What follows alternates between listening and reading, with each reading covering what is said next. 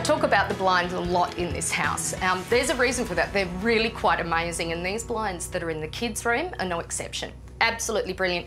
And how beautiful is this room, by the way? Julia's done such a great job. For a start, these blinds are in a children's room, so they're completely cordless. So important and such an incredible safety feature that has to happen these days.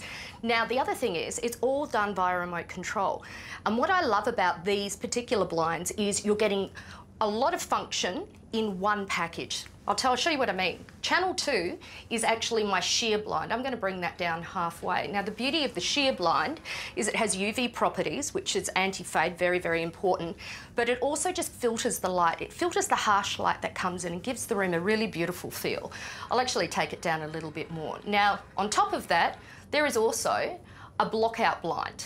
So this is our blockout blind that you can use at any level in conjunction with your lighter shade, or you can just use it to completely block out the entire room of light and just it's so much easier for kids to sleep when it's dark as we know.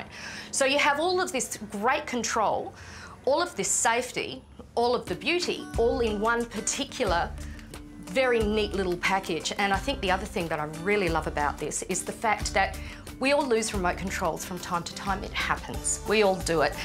If you do lose your remote control, you can download an app and operate these blinds anywhere in the house from your phone, which is incredible technology. So it looks good, it is good, it functions incredibly well, and it's exactly what you want for a kid's room.